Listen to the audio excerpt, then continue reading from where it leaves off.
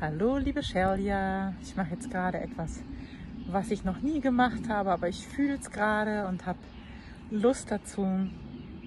Ja, sorry für die Sonnenbrille, aber es ist gerade ganz hell. Ich bin nämlich gerade in der Wiese unterwegs ähm, mit Lucy und habe nochmal über unsere letzten Gespräche nachgedacht und möchte dir wirklich so total von Herzen Dankeschön sagen.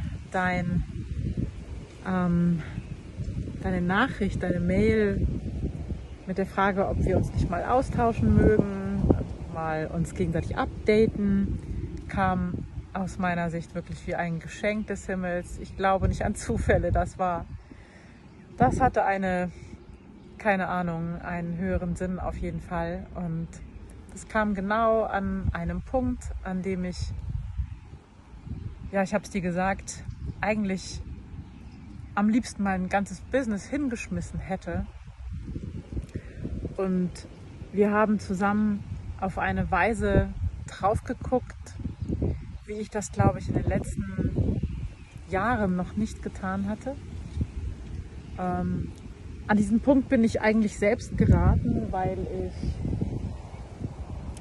ähm, einer Marketingstrategie gefolgt bin, die ich für gut gehalten habe und ich bin der so gefolgt, dass ehe ich mich versah, mein Pflichtbewusstsein übernommen hat und quasi von ganz alleine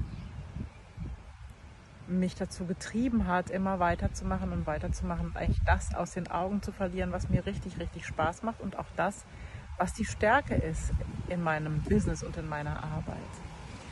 Und wir haben uns getroffen als ich wirklich an den Punkt war, so will ich das nicht mehr.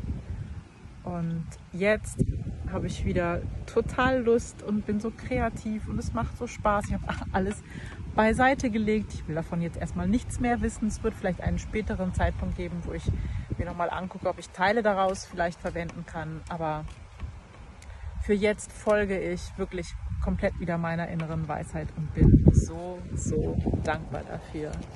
Ich sende dir ganz liebe Grüße und bis ganz bald. Ciao.